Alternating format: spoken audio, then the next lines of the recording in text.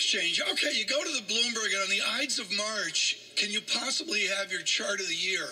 I'm not sure this is a chart of the year for 2016, but here it is. I stumbled on this. This is real GDP with the blue knocked out, and this is the trend line of three decades, 30 years.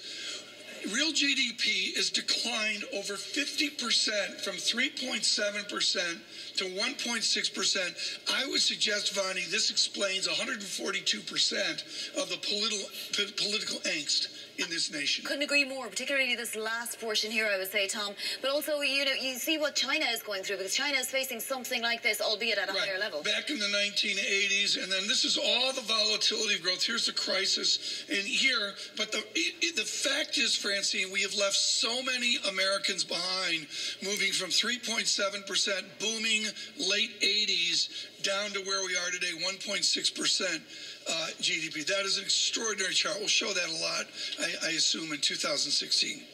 It's an extraordinary chart, uh, Tom, and I imagine the parallels compared to a similar chart in the UK is, yeah. uh, are pretty similar, right? It's it's people being left behind, which is also why you have a vote against establishment. Now, this is my uh,